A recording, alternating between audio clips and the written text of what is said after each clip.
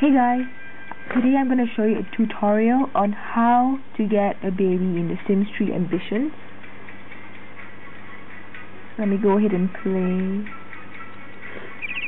Oh yeah, here's your play, pause and fast forward button up here. It's really cool because the previous Sims, um, Sims and World Adventures, you didn't get to have these options. Anyway, today I'm going to show you how to get it. So, first you have to get married to someone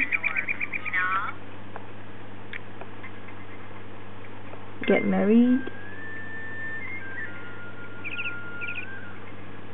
Okay, then they'll tell you that it's now your spouse. So just touch anywhere to continue. And now, all you have to do is go to the phone and click ad adopt a baby or you can also have your own just go woohoo on the bed, that's all.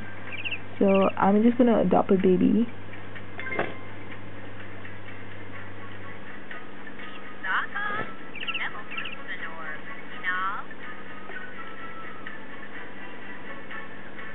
Oh, okay. So basically you have to make sure that your mood is um, at maximum, which means everything should be green and happy. So unfortunately I can't show you right now, but at least now you get the idea on how to get a baby. You can either you, but if you want to get a baby you have you have to have to get married first before you can ad either adopt a baby or um, have your own baby. So you have to get married first and yeah. So that's about it and um, yeah this is the Sims 3 world that um sorry the Sims 3 ambitions.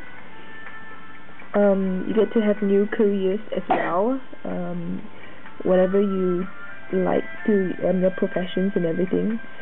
And you get and you also have new clothes and yeah basically that's it for the Sims 3 ambition. Um yeah. So once again this is a tutorial on how to get a baby